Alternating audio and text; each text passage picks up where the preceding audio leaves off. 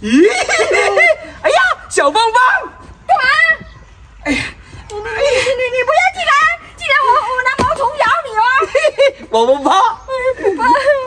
我就喜欢你咬我。你神经病啊！你比那个毛毛虫还讨厌，你怎么三天两头来骚扰我啊？莫非我问一下，你家里的水龙头坏不坏啊？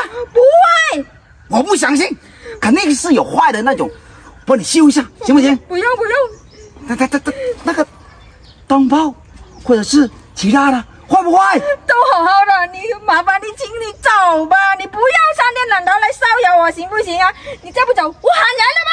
要不我帮你摘摘。哎哎哎，帮你摘。哎，你跑，你跑什么？哎哎哎哎哎，别跑啊！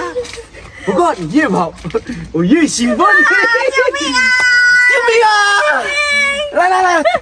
来来来，去去去去你家！不要去啊！救命啊！大胖，你干嘛？没没干嘛？没干嘛？你三天两头你来来这寡妇家，你干嘛？他有需要。我没有什么需要啊？人家在他地干活，你老老是来这里骚扰人家。不瞒你说，刚才他说啊，他家里的那个下水道堵了，帮他捅一下。堵了，堵了，他会叫我村长去啊？干嘛要去叫你呀、哎呀，你你都不懂，你都你不会的你。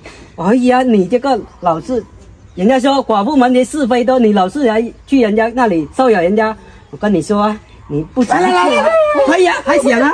这这肯定想了，那你不想啊？想想想，你跟你说干干干干嘛？干嘛？你再来你这里你想我把你你你也要排队啊？捉去派出所，你再来骚扰人家。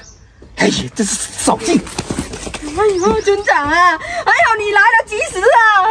长啊，我这可怎么办呀？那个大炮三天两头来骚扰我，有时候他半夜还去，这个日子真的没法过了。哎呀，你这个寡妇也是啊，整天穿的花枝招展的，真的气死了。哎呀，我这是正常穿着。再说，爱美之心都是女人的天性，改变不了的。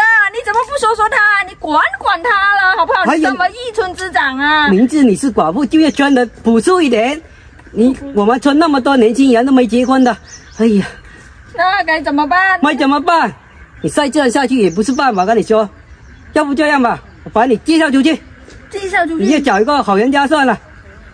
这样下去啊，你的门口都是整天是那些那些光棍的去你们家门口那里了。可是你得跟我帮我介绍一个好一点的，不要那么那种短命鬼了吧？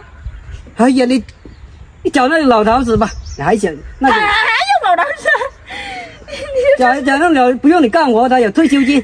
那说不定过几天我又守寡了。那村长，对不动，走了。我哎呀哎呀，走去哪里呀、